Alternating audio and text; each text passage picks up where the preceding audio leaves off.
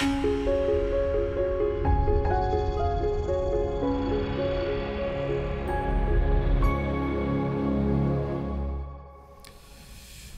Kuiper wrote a book about the church entitled The Glorious Body of Christ.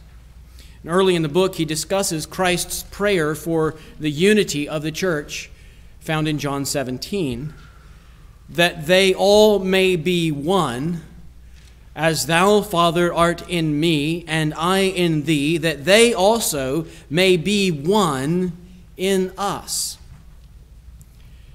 And Kuiper raises a question about this prayer. If the church is already spiritually one body, as the Bible teaches, because we all have one Lord and are all indwelt by one Spirit and are all one family under one Father, then why does Christ pray for our unity?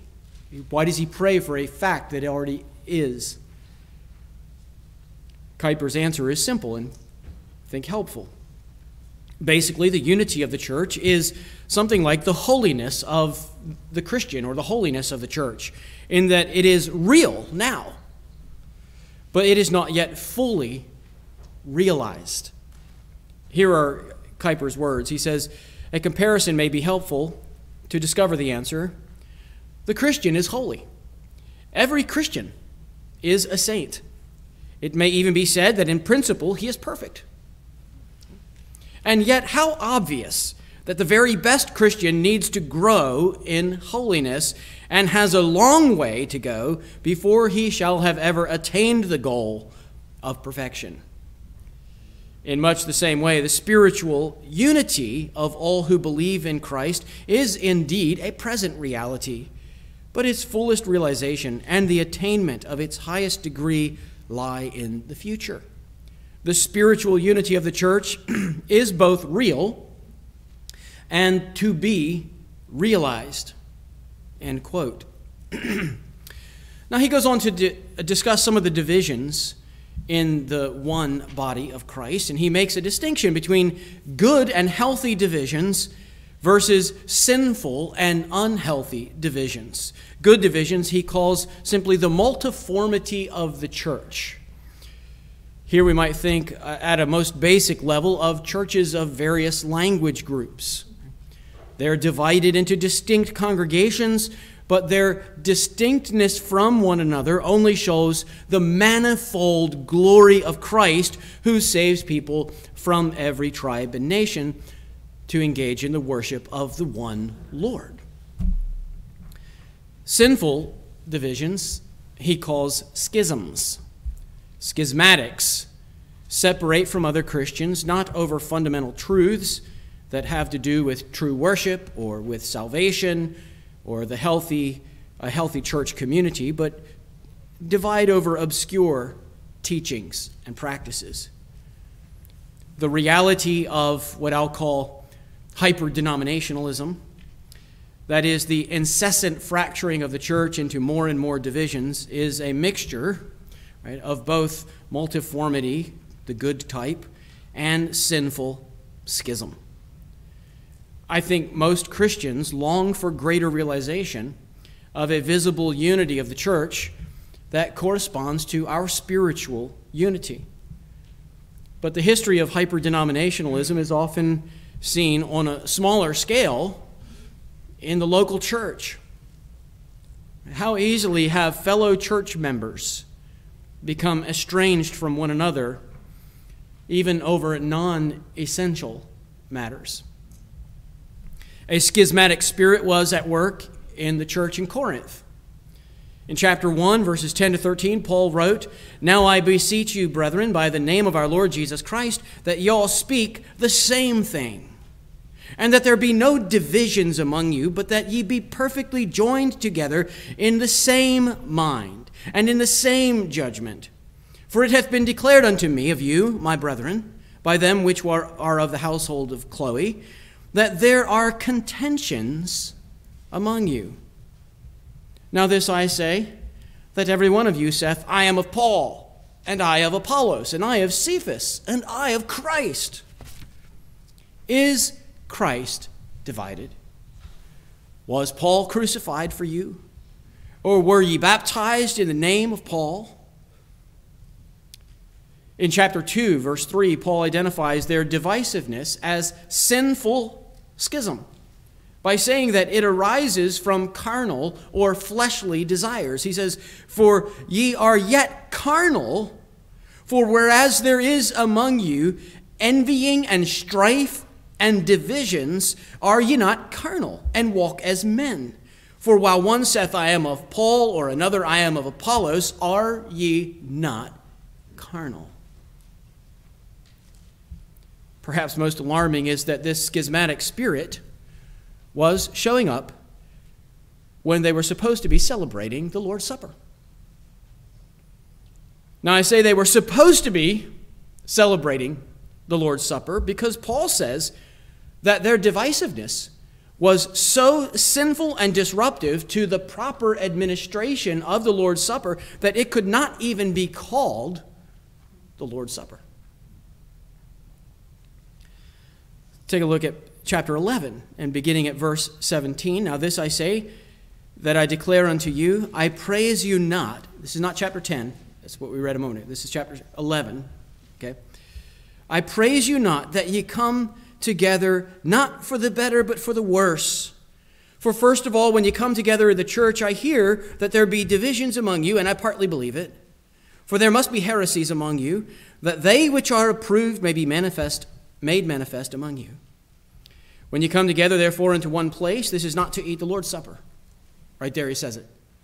You, you all call this Lord's Supper, but you have not come to eat the Lord's Supper. It's not what you're doing.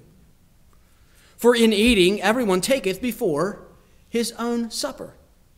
And one is hungry and another drunken. You see the disparity here? The division? To the point that you have some who are whose stomachs are growly and others who are uh, so over intoxicated, right, from their revelry. All this in one church body. What? He says, Have ye not houses to eat and drink in? Or despise ye the church of God and shame them that have not. What shall I say to you? Shall I praise you in this? I praise you not. Like a good father, Paul knows the power of the carrot and the stick. He gives encouraging praise where appropriate, and he expresses disapproval where appropriate. But Paul doesn't stop here, right? He doesn't leave them simply rebuked for their divisiveness and their abuse of fellow church members, but he shows them the way forward. He goes on to give them instructions about the proper administration of the Lord's Supper. I, wonder how many books on church unity and healing divisions have a chapter on the Lord's Supper. Just curious. But why would Paul try to heal divisions in the church by bringing them together around the Lord's table? Why would he offer the Lord's Supper as a remedy to this schismatic spirit? Well, the answer to that question is found in our text from this morning. For we, being many, are one bread and one body, for we are all partakers of that one bread. The Lord's Supper answers the problem of sinful divisions because at the Lord's table, Christ nourishes the communion of his body.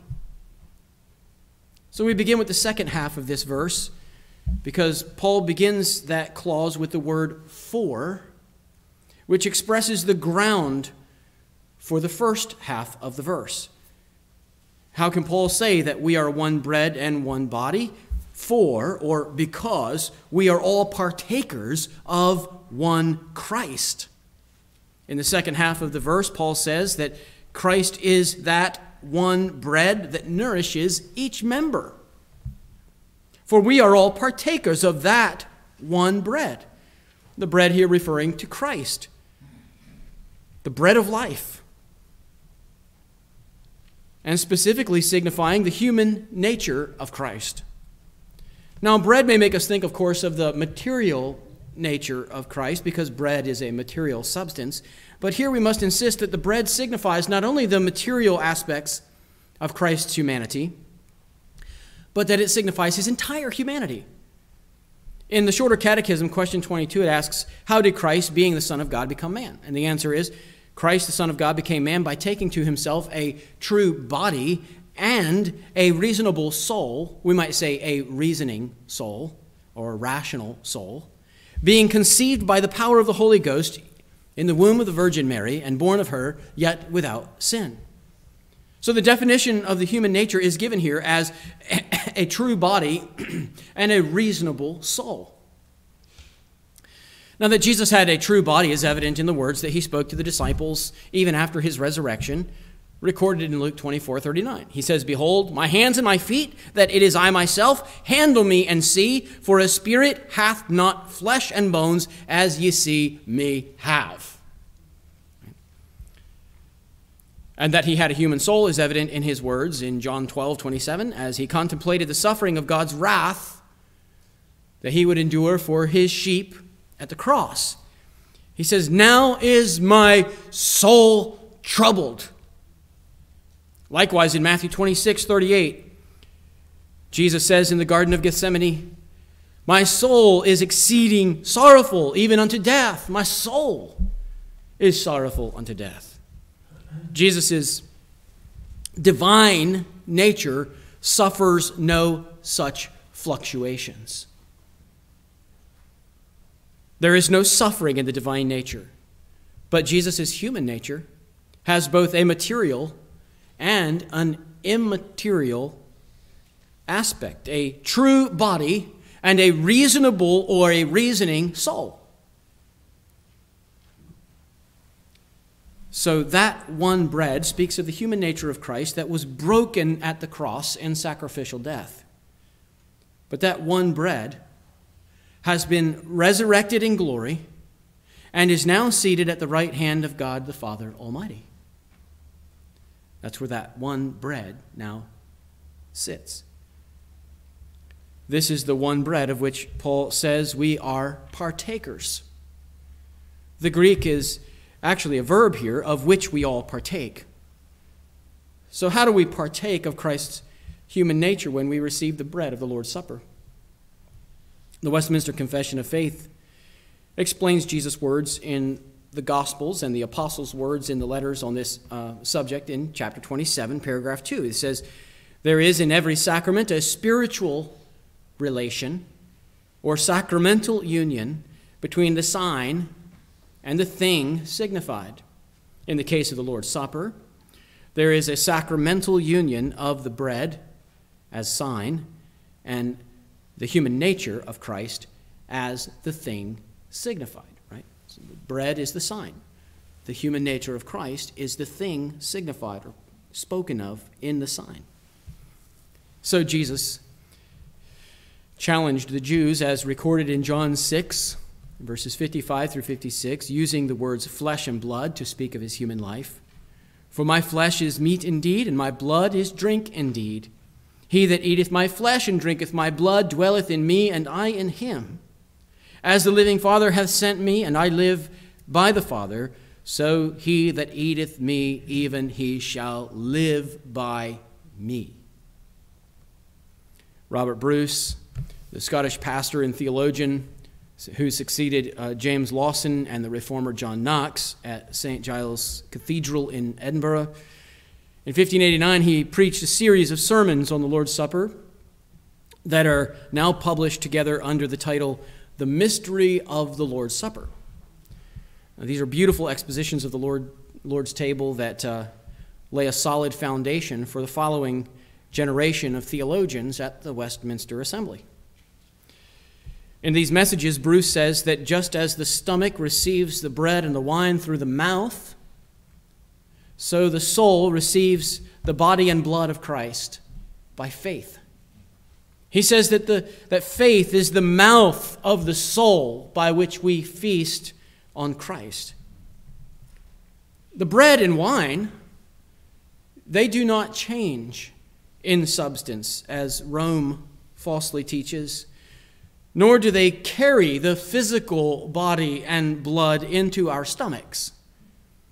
But we do commune in the full humanity of Christ, given in sacrifice and raised in glory by faith. Bruce is clearly echoed in the larger catechism in question and answer 170. The question asks, How do they that worthily communicate in the Lord's Supper feed upon the body and blood of Christ therein? The answer says, As the body and blood of Christ are not corporally or carnally present in, with, or under the bread and wine in the Lord's Supper, and yet are spiritually present to the faith of the receiver, no less truly and really than the elements themselves are to their outward senses. So they that worthily communicate in the sacrament of the Lord's Supper do therein feed upon the body and blood of Christ, not after a corporal and carnal, but in a spiritual manner. Yet truly and really, while by faith they receive and apply unto themselves Christ crucified and all the benefits of his death. And we note how Paul subtly undermines any divisions in the church by emphasizing here the word all. We are all partakers of that one bread. We all refers to all discerning members.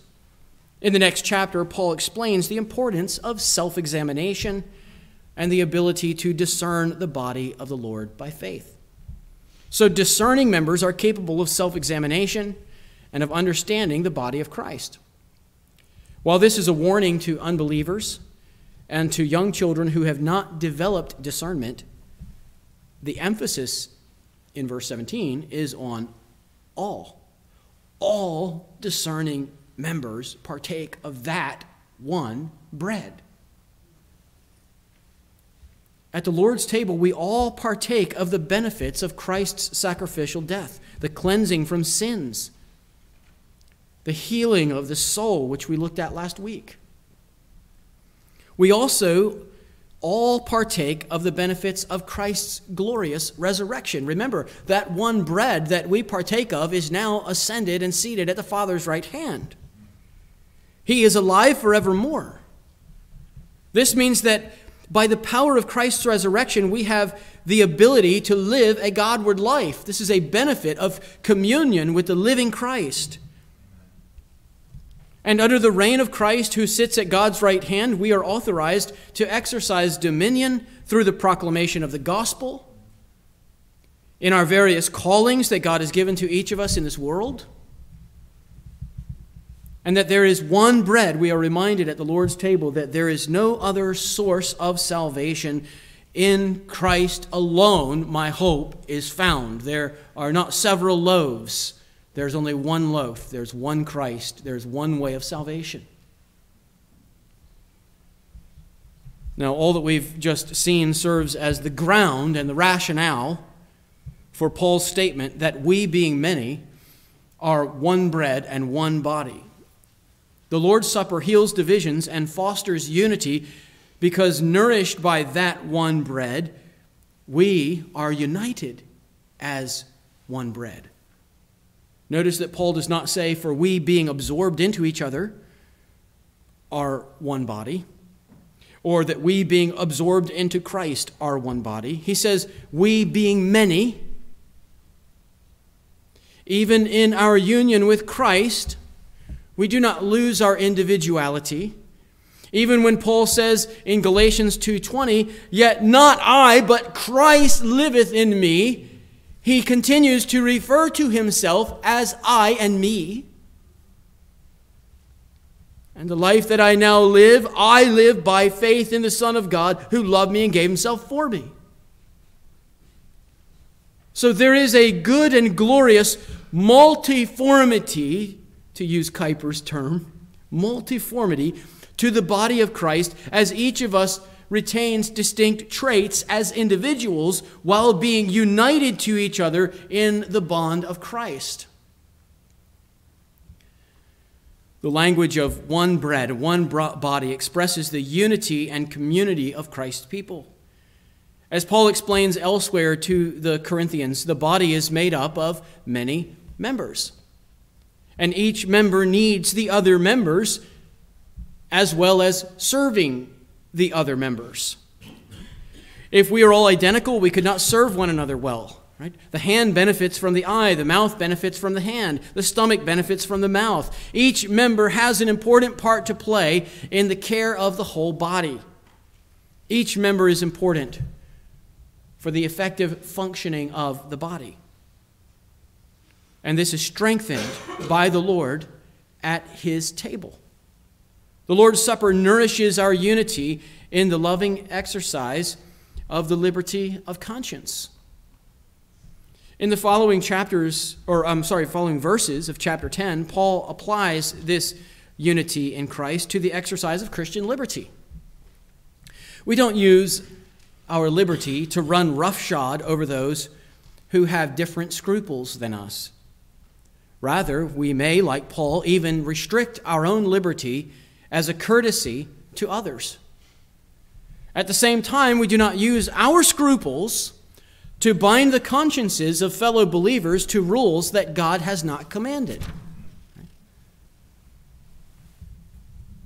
In chapter 11, Paul applies this to our humble service to each other at the Lord's table.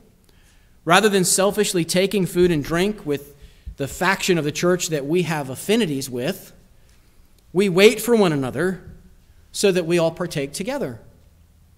We try to portray this even here in our gathering at the Lord's table at Spruce Creek. The elders serve each of you first. I serve the elders. And finally, one of the elders serves me. And then, once we have all been served, we eat and we drink together. In this way, the Lord's Supper nourishes our unity in humble service to one another, not only around the table, right, but everywhere, at all times. Finally, in chapters 12 through 14, Paul applies this to the exercise of spiritual gifts. The Lord's Supper nourishes our unity in the loving exercises of the gifts and graces that Christ has bestowed on us by his Spirit. This is right in the middle of that section, right in the middle of chapters 12 through what's what's in the middle of 12 through 14? What number? 13. Right. Right in the middle of that section, in chapter 13, Paul gives a beautiful exposition of Christ like love. And this is the love that is displayed to us and is conveyed to us at the Lord's table. May it also be the love that we show to one another at the Lord's table and in all of life. Behold, how good and how pleasant it is for brethren to dwell together in unity.